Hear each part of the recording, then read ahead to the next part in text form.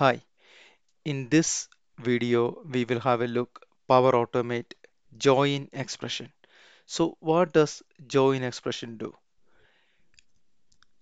Join action is used for delimit an array with the separator of your choice.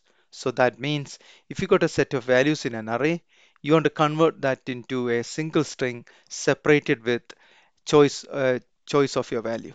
That means it can you, it, it can convert into uh, with a semicolon values or dash or uh, any of your choice uh, you can choose there. Okay, let's have a look under the Power Automate. So here I'm using a manual trigger. Next I'm adding a compose.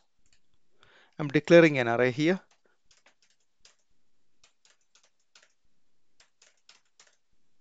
Okay, I declare an array.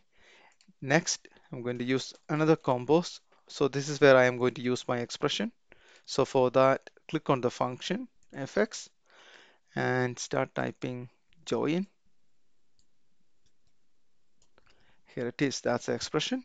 Then the first parameter is the output parameter of my compose, which is the array, comma, two single quotations.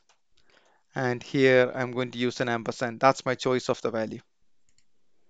Okay, let's test my flow now.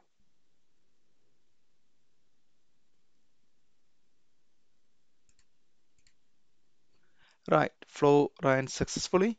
Here is output A ampersand B ampersand C.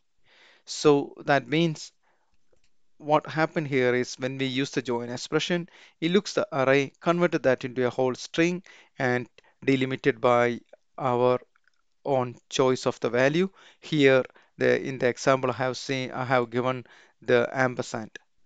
So that's where the join expression is useful. Thank you for watching.